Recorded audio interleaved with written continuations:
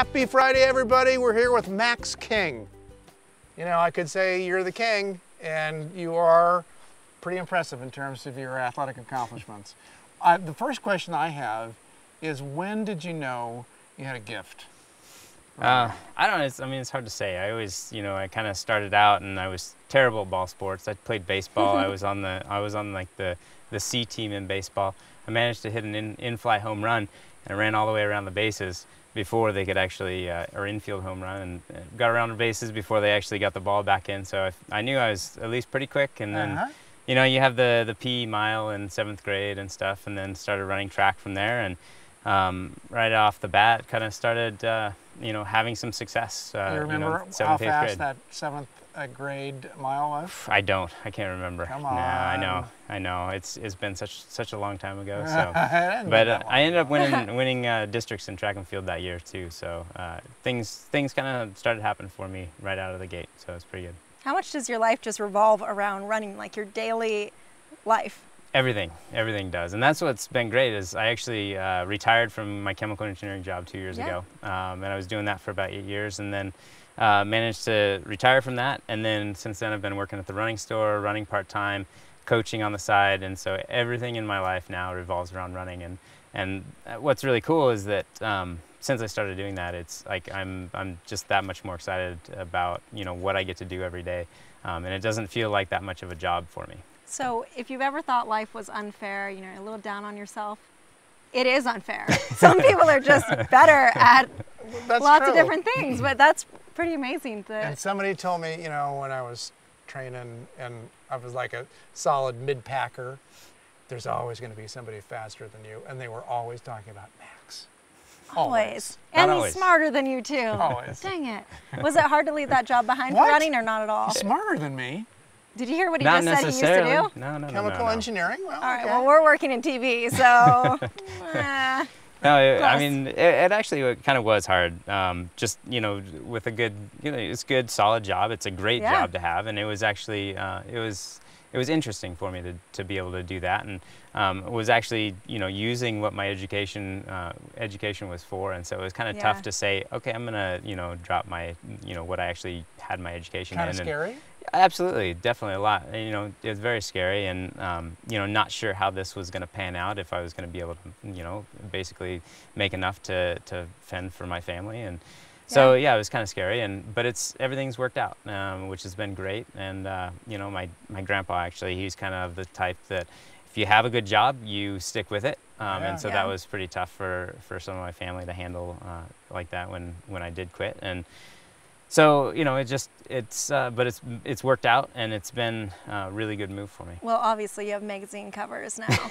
so your parents are probably proud to collect those and Right, take them all and show yeah. their friends now. My, my grandparents are the first ones to go to uh, Barnes and Noble or wherever and, and buy the entire Yeah, you know, take their entire stock out. them. Yeah, exactly, and even order some extras from the from the cashier. So. Favorite distance?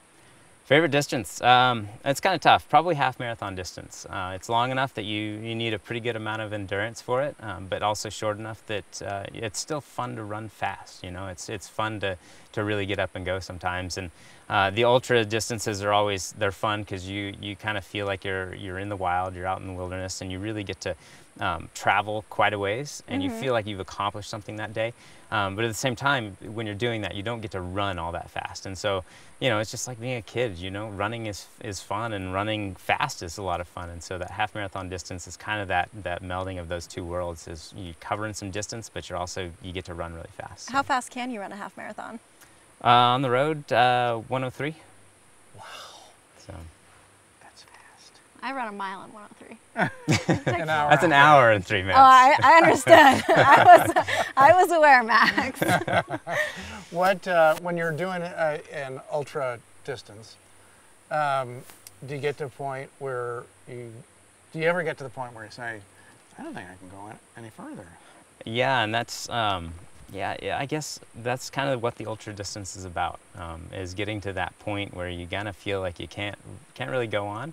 And then just breaking through that. Uh, and a lot of people can't do that, and there's times in a race where you shouldn't do that, um, you know, Hmm. uh, injury-wise and stuff like that. But um, if you can fight through that and get through that, uh, whether it's uh, nutrition-wise or whether your legs are just feeling so tired and so beat up that you can't go on, you gotta just you fighting through that is is what gives you that sense of accomplishment when you complete uh, complete an ultra. Is So- part of um, that competition involving this muscle between your ears? Absolutely, yeah, and you know that's the thing about an ultra is a lot of it, probably I don't know, you could say 50% of it is up between your ears, and uh, whether you're going to make it to that finish line uh, depends less on your legs um, because you can't really train for that kind of distance all that well. Uh, you know, day-to-day life, you're never going to really run 50 miles in training, and so uh, once you get past that distance where you've gone in training, it's it's all up between your ears, and it really depends on on really what you can do then.